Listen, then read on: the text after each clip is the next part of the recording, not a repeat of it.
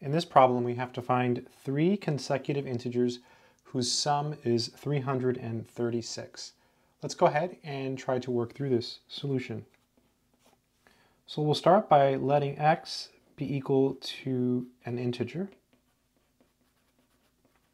And we want three consecutive integers whose sum is 336. So that means if we take x and we add it to the next integer, which is x plus 1, and we add it to the next integer, which is x plus 2, we should get 336. So we have three consecutive integers, x, x plus 1, and x plus 2, and that's equal to 336. So now we can combine like terms and solve for x.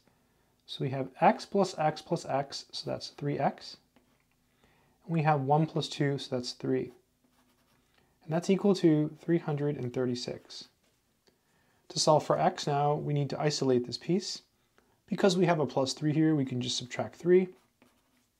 So we have 3x equals 333. Pretty cool. Now we just divide by 3, divide by 3, and we have x equal to 111. And now we can check our answer by taking this number and plugging it back in here. So basically we should have 111 plus 112 plus 113 equal to 336.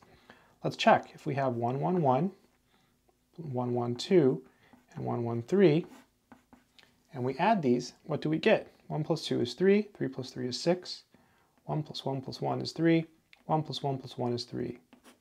Looks good. So we found three consecutive integers, 111, 112, and 113. This is the answer, whose sum is equal to 336. I hope this video has been helpful to someone. Good luck.